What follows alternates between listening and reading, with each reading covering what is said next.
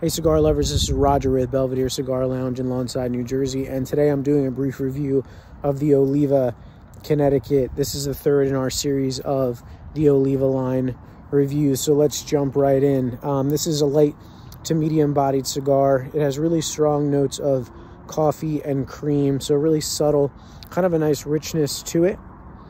The aroma is grassy, sort of similar to the Oliva Oh, I mentioned that in my review of that.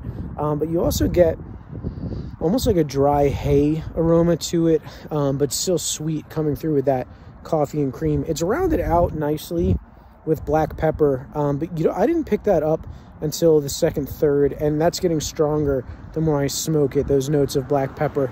Um, it is Nicaraguan tobacco, so that pepper is to be expected, but it's not strong. This is not a spicy cigar. It's really subtly flavored, really light and smooth.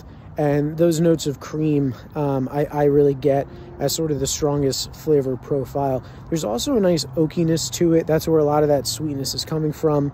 But the oak is fairly strong on the back end in the aftertaste. Um, in terms of drink pairings, I think this would go really well with cognac.